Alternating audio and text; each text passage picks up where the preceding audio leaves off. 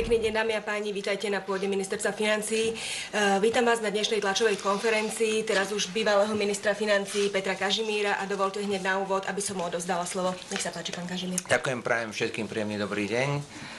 Tu na pôde ministerstva financí a dneska asi zrejme aj naposledy z pôdy ministerstva financí po, po tom, čo som pred pár minútami odovzdal svoju demisiu do rúk prezidenta republiky.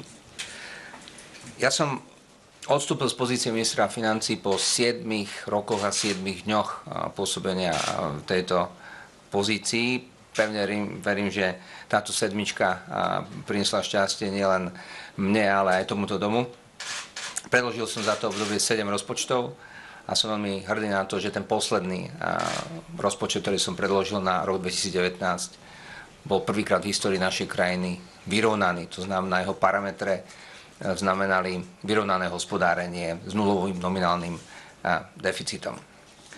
Prežil som tejto budove oveľa viac rokov, pretože som pôsobil ako, ako štátny tajomník v roku 2006 až 2010 a potom s malou prestávkou pôsobenia v, v rozpočtovom výbore ako podpredseda tohto výboru v podstate 13 rokov sa venujem verejným financiám a preto mi dovolte sumarizovať eh, obdobie v ktorom som pôsobil a v ktorom som mal vplyv na veci, ktorých výsledky sú jasne odpočítateľné a, a dá sa z nich robiť jasný odpočet.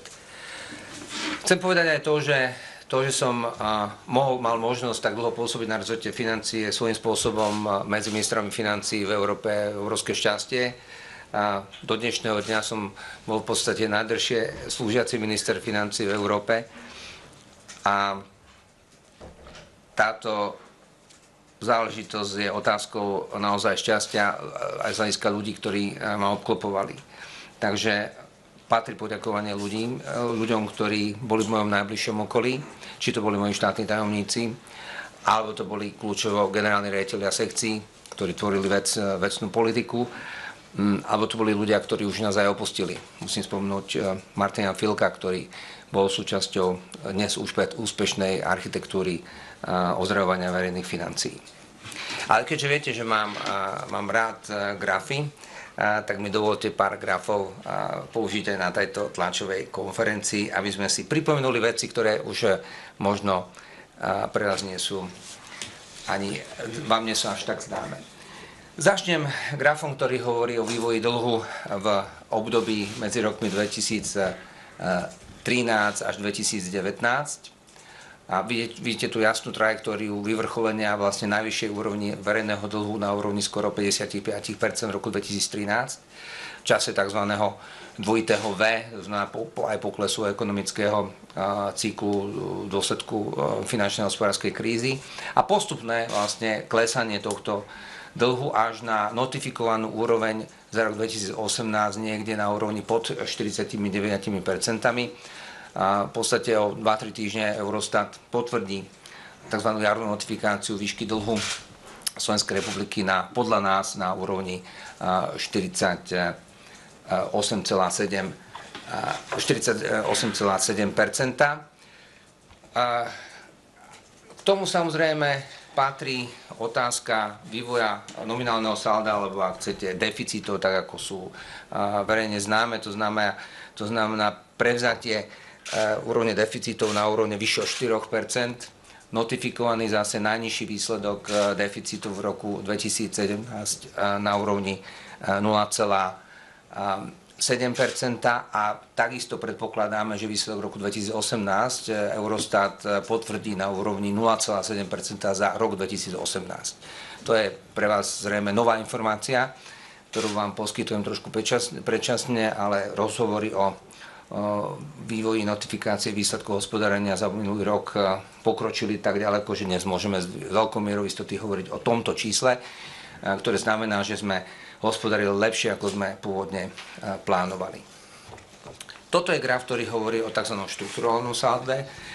Toto je ekonomická kategória, ktorú ťažko vysvetlíte svojej mame alebo e, svojim súrodencom, ale hovorí o, e, o vývoji ekonomiky pri očistení, o ekonomické cykly, o, jednora, o jednorazové efekty. Aj tu vidíte pokles štruktúrálneho deficitu na úroveň až 0,5%, ktorý by sme mali dosiahnuť v tomto roku a tým pádom aj dosiahnutie tzv. MTU alebo strednodobého cieľa a tým pádom aj splnenie zásadných pravidel, ktoré sa týkajú európskych, európskych pravidel ako takých. To znamená, že v tomto medziobdobí za tých posledných 7 rokov sme zosekali rozpočtovú sekeru o 4% hrubého domáceho produktu a takisto by sme mali povedať, e, že sme to robili aj na strane e, príjmov, aj na strane výdavkov. Takže príjmy sa podarilo zvýšiť od roku 2012 o viac ako 3% hrubého domáceho produktu a to hlavne vďaka lepšiemu výberu dane z pridanej hodnoty, ale aj výberu dane z príjmov právnických osôb. No ale aj výdavky v tomto medziobdobí klesli a to približne o 1% hrubého domáceho produktu. Takže popri konsolidácii verejných financií sa samozrejme podarilo aj dofinancovať viaceré prioritné politiky. Mám teraz na mysli školstvo, významné zvýšenie objemu verejných zdrojov do školstva, hlavne do oblasti odmeňovania našich učiteľov, ale aj významné navýšenie prostriedkov, ktoré sú používané vo verejnom zdravotníctve. Dovolím si pripomenúť plošné zvýšenie platov vo verejnej správe o 10 v roku 2019 aj v ďalšom roku 10% To všetko samozrejme pri konsolidácii a ozdravovaní verejných financí tak, ako, sme ich, ako, ako som to pomenoval.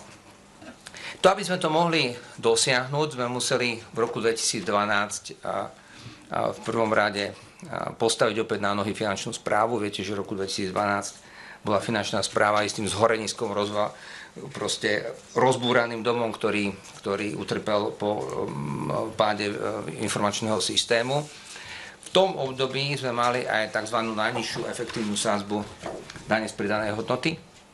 A tento graf ktorý ja volám Marianskou priekopou v roku 2012, hovorí o tom, ako sme v podstate najmenej vyberali DPH z hľadiska efektívnosti a ako sa tento trend zásadne podarilo od roku 2012 eh, zmeniť až na dnešnú úroveň, ktorá presahuje 15% a dotýkame sa vlastne historických eh, rekordov. Zrkadlovým obrazom tohto eh, grafu o efektivite výberu DPH je tzv. graf o vývoji daňovej medzery alebo VAT gapu v angličtine, ak chcete, ktorý vlastne hovorí o tom, že sme v tom najhoršom roku dosahovali túto medzeru na úrovni až 40 a že sa nám ju podarilo postupne dostať na úroveň okolo 26-27% tie posledné čísla sú za predchádzajúce roky a to znamená, že sme ju dali dole o jednu tretinu. To by nebolo nikdy možné bez toho, že by sme nerobili zásadné opatrenia v oblasti boja s daňovými únikmi a keby sme nereformovali finančnú správu. A tento, za tento výsledok samozrejme ďakujem všetkým pracovníkom finančnej správe na čele aj s bývalým jej šéfom Františkom Imrecem alebo dnešnou jej šéfkou Lenkou Wittenberger. Ak eh, hovoríme o efektivite výberu daní, tak musím spomenúť aj eh, sázbu efektívnu, e, efektívnu daňovú sázbu dane z príjmov právnických osôb, ktorá tiež e, dostala svojho zlepšenia a to je napriek tomu, že sme v období po roku 2012 e, skoro zásadne zvýšili aj sadzby dane z príjmov právnických osôb. Ak si pamätáte, z 19 na 23 Vtedy nám všetci predpovedali, že tento graf bude úplne opačný, že efektivita výberu dane z právnických osôb bude horšia, ale pravdou sa stal opak. Alebo opak bol pravdou.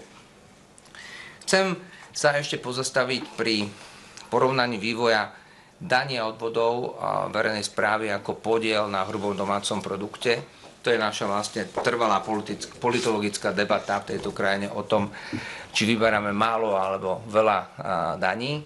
Ak si porovnáte, ak si pozriete v porovnanie s, s ďalšími krajinami V4, tak vidíte, že Slovensko je stále na tom z istého z takého pravicového pohľadu, to mám povedať, najlepšie, pretože má najnižší podiel celkových príjmov alebo príjmov daní a odvodov na hrubom domácom produkte. Čiže menší ako Polsko, menší ako Maďarsko a menší ako, ako Česká republika.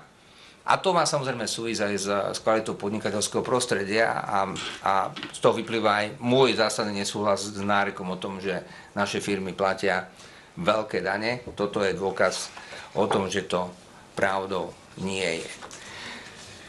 Budem pokračovať porovnaní vývoja dania odvodov ako percento HDP pri, v, v porovnaní s európskymi krajinami, s krajinami Európskej únie a krajinami a eurozóny. A tu vidíte ešte väčší rozdiel. To znamená, ten priemer, priemer EU a eurozóny je oveľa vyšší. Hovorím o výbere daní a odvodov ako podiel na hrubom domácom produkte. Áno.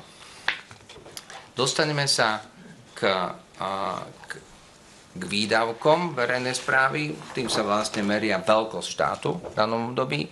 Tu opäť vidíte porovnanie oproti krajinám V4 a priemer eurozóny a vidíte, že Slovensko takzvanú mieru prerozdeľovania má stále menšiu ako priemer krajín V4 alebo určite menšiu ako, ako celá eurozóna výnikom možno roku 2015, ale to je, to je spôsobené dočerpanie európskych fondov v roku 2015.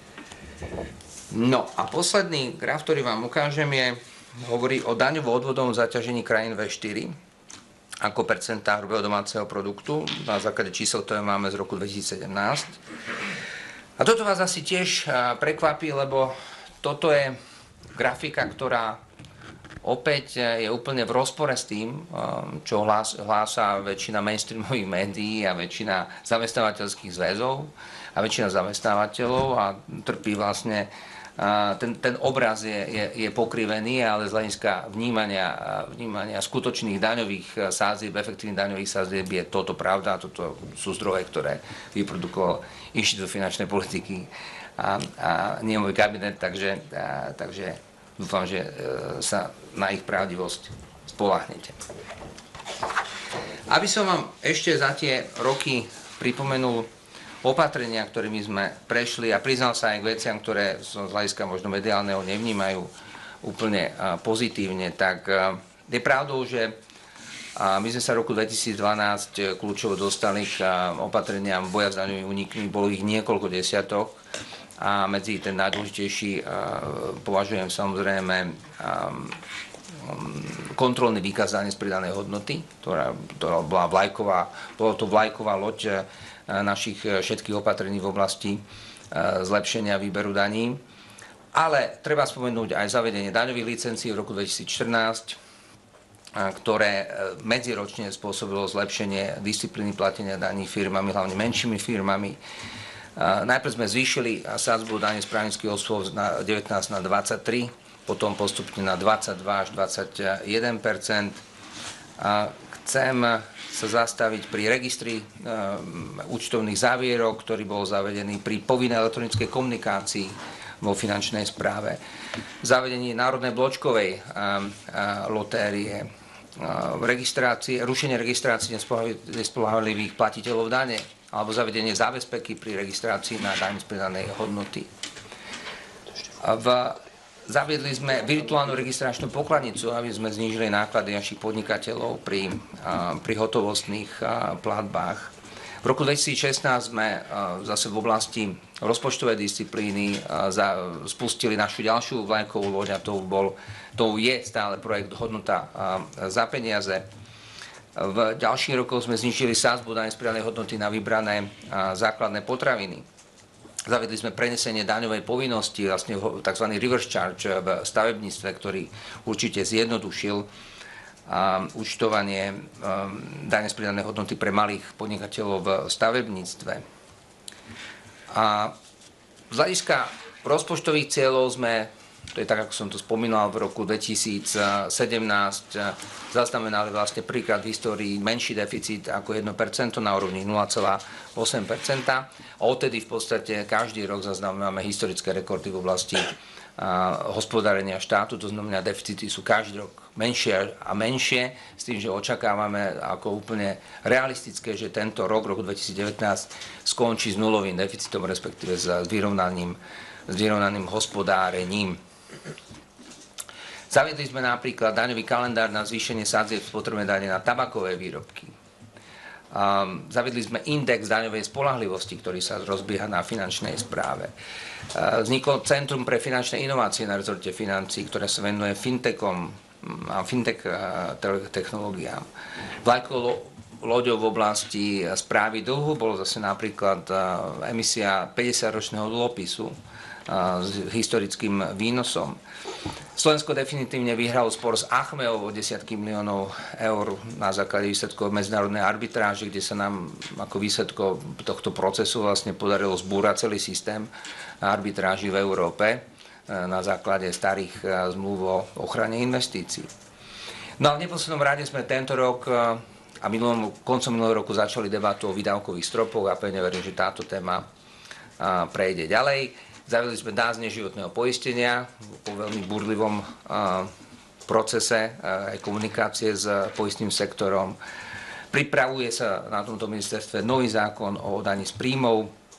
Zavádza sa povinnosť označovania povinných látok tzv. nanomarkermi, to sú veci, ktoré nás čakajú v tomto roku. Zavádza sa pokladnica elektronická, tzv. e-kasa od 1. júla v plnom, v plnom fungovaní. Vypustili sme zábezpeku na daň pri registrácii rizikových zdaniteľných osôb. Prijali sme nový zákon o finančnej správe, ktorý bude fungovať od 1. júla. A máme tu aj úplne nový, nový zákon o hazarde, ktorý takisto v týchto najbližších mesiacoch vojde do, do života. Toľko veľmi telegraficky z pohľadu toho, čo tu za posledných 7 rokov sa podarilo zrealizovať. A Chcem úplne na záver povedať, že tá, tá dnešná demisia do rúk pána prezidenta nebola úplne asi obvyklá, bola, tak som už to povedal, menej prvá v mojom živote. A napriek, napriek tomu mala celkom veselý priebeh, lebo neboli za ňou žiadne dramatické zápletky. Chcem povedať, že pre mňa bolo cťou na, tomto rezorte pôsobiť e, tak dlhý čas a mať možnosť ovplyvňovať tak vážne veci, ktoré sa týkajú života každého jedného z nás. A opakujem, mohol som to robiť len preto, že som mal okolo seba skvelých ľudí. A takisto platí aj to, že aby som mohol dosa- predkladať až vyrovnané hospodárenie na rok 2019 a postupne dosahovať lepšie a lepšie výsledky v oblasti verejných financií, tak som musel mať dôveru svojich premiérov, ktorým som slúžil a ja som slúžil vlastne v troch vládach dvoch premiérov, takže tieto výsledky by som nikdy nebol dosiahol, keby za mnou nestal a môj bývalý premiér Robert Fico a keby teraz za mnou nestal môj premiér Peter Pellegrini. Toto je pravda a pravdou je aj to, že som mal možnosť samozrejme si vyberať svojich spolupracovníkov a za tú, za tú možnosť im samozrejme, za tú možnosť, že sa vybrali tou cestou so mnou im samozrejme ďakujem. Toľko na úvod, dámy a páni. Ďakujem, nech sa páči priestor pre vaše otázky, teatry. Dobrý deň, Andrej Horvat, teatry. Ja by som sa rád opýtal, aké vidíte riziko, že ten rozpočet tohto ročný nakoniec nebude vyrovnaný, pretože sú tam už rôzne nápady, ktoré pravdepodobne ovplyvnia príjmy a výdavky štátu. Ďakujem. No, ja samozrejme som veľmi pozorne sledoval proces od toho pamätného videa zverejneného predsedom koaličnej strany SNS, ktorý vlastne ohlásil svoj balík z hľadiska, z hľadiska daňových zákonov. A pre mňa bolo veľmi dôležité, že v tom medziobdobí, medzi zverejním tejto politickej iniciatívy a dneškom sa mi podarilo pána predsedu Národnej rady a predsedu Slovenskej národnej strany presvedčiť spolu s jeho kolegami, presvedčiť o tom, že ich návrhy nebudú zasahovať do roku 2019. Ja to vnímam tak, že rok, rozpočet roku 2019 je akoby stále môj, ak to chcete z hľadiska politické zodpovednosti. A ďakujem za pochopenie toho, že počas realizácie rozpočtu, ktorý je zákonom, proste robiť zásadné zmeny v stovkách miliónov eur by mohlo ovplyvniť fungovanie štátu zase z hľadiska, z hľadiska výdavkov a, a plánu, ktorý, plánu výdavkov, podľa ktorého fungujú jednotlivé kapitoly a vlastne celý verejný sektor. Takže za toto pochopenie ďakujem a tým pádom v roku 2019 žiadna dráma z pohľadu realizácie politických priorít jednotlivých koaličných strán nemôže udiať. Pokiaľ viem, toto je potvrdené aj, aj závermi poslednej koaličnej rady Takže všetko, všetky ďalšie zmeny sa majú týkať rozpočtových rokov 2020 a ďalej. Pravdou ale je, že v roku 2019 sa postupne zhoršuje ako keby vonkajšie ekonomické prostredie a už naša prognoza z februára tohto roku vlastne signalizuje spomalenie ekonomického rastu z pohľadu toho, ako sme predpokladali ekonomický rast na rok 2019. Viete, že rozpočet bol postavený na, na čísle 4,5%. Vo februári sme ho revidovali na úroveň 4%, ale je vysoko pravdepodobné za základe dát, ktoré máme z posledných týždňov, že tá revízia bude pokračovať ďalej smerom dolu. To znamená tak, ako Národná banka Slovenska už na základe čerstvejších dát zverejnila svoj odhad na úrovni 3,7, tuším, tak eh, myslím si, že tomuto trendu sa prispôsobí aj, aj výbor pre makroekonomické prognózy, ktorý eh, zverejní svoju prognózu v júni tohto roku a následne v septembri tohto roku na základe najčerstvejších dát a na základe toho sa bude robiť rozpočet na ďalšie roky. Takže toto je komplikácia, ktorá ale bude viac menej z hľadiska príjmov podľa mňa znamenať len to, že mm, moji nástupcovia sa nebudú môcť spoliehať v tomto roku na významné nadpríjmy, ako to bolo v minulom alebo predminulom roku. Ale to neznamená, že by nemohli dosiahnuť výsledok, ktorý je napísaný v, v zákone o štátnom rozpočtu na tento rok. To znamená, vyrovnané hospodárenie za roku 2019 považujem stále za realistické. Ďakujem, nech sa páči, televízia Joj. Dobrý, straňová televízia. Ja sa chcem opýtať, čo budete robiť zajtra, teda vy ste naznačili, že máte voľno. Áno, ja, ja som, uh, ja sa teším, budem mať, ja, budem mať uh, voľno. Do, v najbližších dňoch uh, z, z, zajtra ráno odveziem deti do školy a do škôlky, tak ako každý deň. Um, a potom predpokladám, že sa budem musieť ešte stretnúť, eh, alebo chcel by som sa stretnúť eh, s Lácom Kamenickým, ako eh, svojim nástupcom niekedy po Veľkej noci a budeme sa rozprávať o podstate o dozdávaní rezortu.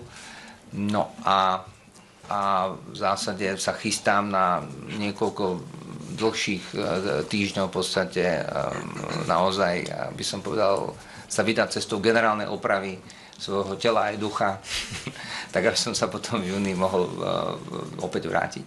Vy ste naznačili, že teda bude úloha nového ministra, aby nám neuletel dekel aj pri tých rôznych e, opatreniach, ktoré sa chystajú v prezidentskom paláci. Čiže čo poradíte možno pánu Kamenickému, aby ustal tento predvolebný rok, aby nám ten dekel neuletel? Tá rada je, je veľmi jednoduchá. Treba, treba hovoriť pravdu. A treba, treba hovoriť všetkým, ktorí sedia okolo stola pravdu, aby vnímali realitu. A to realitou je, že naozaj otázka ekonomického spomalenia je tu, je to proste realita.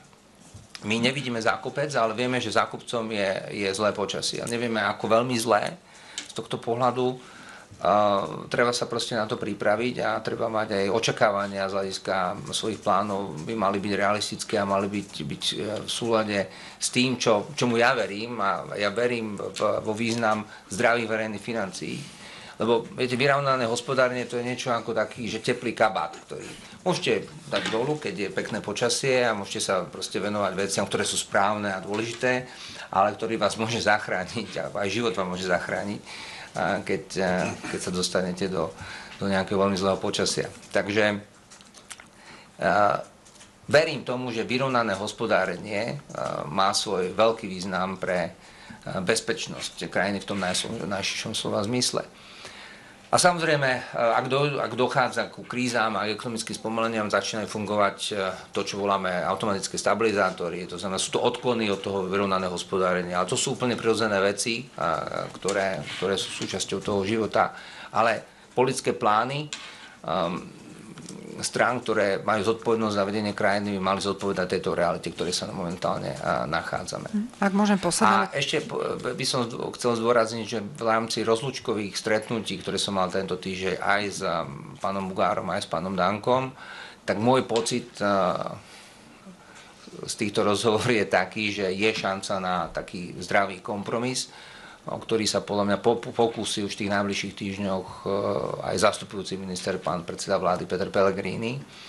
A to by mohlo vytvoriť veľmi komfortnú situáciu aj potom pre, pre môjho nástupcu Ladislava Kamenického pri príprave reálneho rozpočtu, ktorého kontúry uvidíte vlastne až v októbri uh-huh. tohto roku. Týka sa ten kompromis, ak ešte môžem kratučka aj danie pre právnické osoby, to bol asi najväčší taký úder do verejných financií, ak by sme išli na 15% Niektoré firmy teda už teraz vraj menia svoje sídlo práve kvôli možno vysokému tomuto zdaneniu, čiže hovoríme možno o kompromise 2-3 že by sme vedeli ísť dole? bolo by veľmi nezodpovedné z mojej strany, keby som začal verejne komunikovať parametre týchto kompromisov.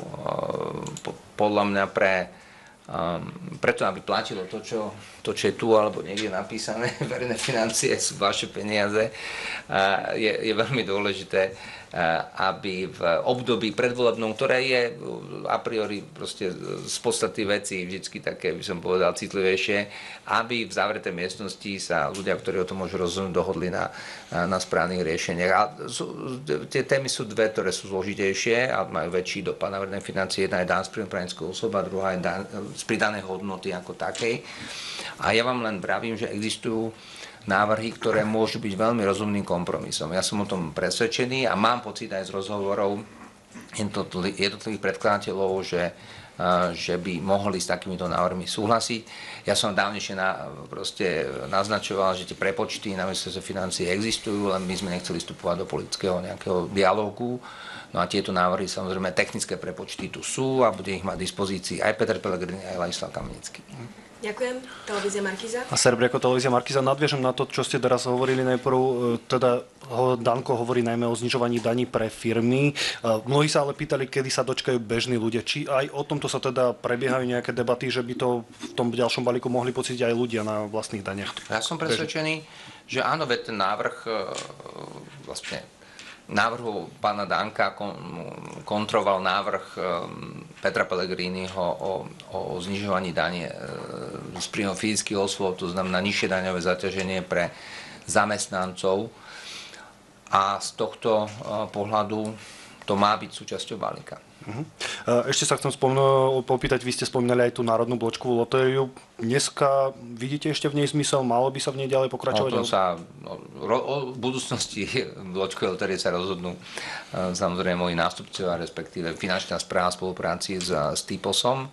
Pokiaľ viem, tam, je tam stály, stály počet niekoľko 100 tisíc hráčov, nejakých okolo 200 tisíc hráčov. E, bolo by podľa mňa zaujímavé možno využiť elektronizáciu alebo onlineizáciu registračných pokladníc s nápadom bločkovej lotérie. Mohlo by to byť oveľa pružnejšie Um, ale tomuto produktu sa potom treba naozaj venovať.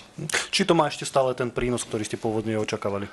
Ten pôvodný prínos bol edukačný a podľa mňa sa podaril. To znamená, tá, tá myšlienka o, o, o, o platbách hotovosti do každej rodiny sa podľa mňa dostala aj vďaka vám, médií, takže médiám ďakujeme vám za to. A ešte jedna technická otázka. Dostala sa informácia, že vraj ako guvernér budete žiadať nejakú ochranku. Či je to pravda, prípadne prečo? Ja neviem o tom, že by som potreboval, ja som nemal ochranku ani ako minister financí, tak neviem, prečo by som mal mať ako guvernér a nehodlám, nechystám zarobiť žiadne zlé, proste zlé veci. Mhm, ďakujem. Takže nie. Dámy a pani, v prípade, že už nie sú žiadne otázky, ďakujem veľmi pekne za vašu účasť a za všetky informácie od e, pána bývalého ministra.